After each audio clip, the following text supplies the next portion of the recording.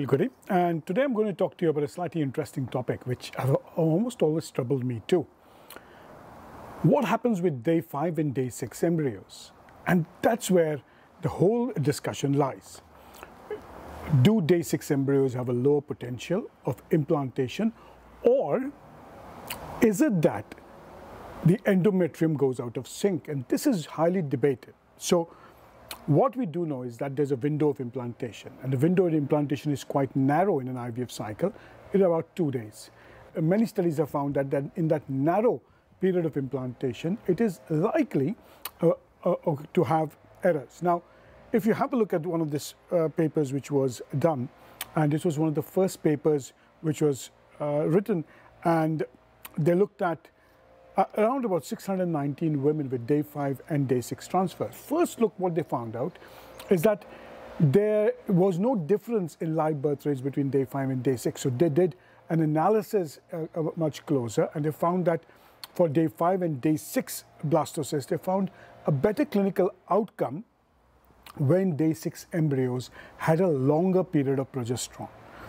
And in fact, it dropped from 50% to 21% when they had a shorter or, or a five day progesterone, which is normally given. So, what you were saying is that the live birth rate increased from 21% to 35.5% when the progesterone was continued and transfer was done on day seven, which means one extra day of progesterone. And you, then you would say, well, that's fantastic, let's adopt it. But Many other studies have come out saying, no, that is not probably the case. There's been quite a conflict in the answers coming through. Now, what we do not know is, is it that a day 5 embryo has a better potential due to its development or is it something to do with the... Now, what they also uh, found out is the unanswered question is that we also know from uh, doing a fresh cycle that if you put a day 6 embryo the endometrium goes out of sync and pregnancy rates um, are much lower. It has also been found out in 2019 by Bowden. And what he looked at, he says, if you looked at day six embryos being transferred around the same time as day five, which means after five full days of progesterone on day, day six, they had a higher miscarriage rate that tends to occur. So what we don't know now is whether the day 5 embryo has a better blastulation and that's, that's how it has a better implantation. Or a day 6 embryo takes longer to blastulate and longer time to try and have uh, a better uh, formation.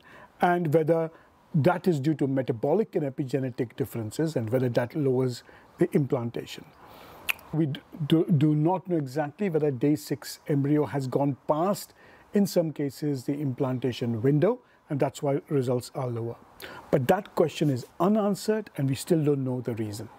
Whether day 5, day 6 embryos transferred after let's say 120 hours, which is 5 days of progesterone, have the same chance of pregnancy or whether there's a, a difference. So the question is how will we know? And I think as larger studies come out, we may be able to answer this question better. Thank you.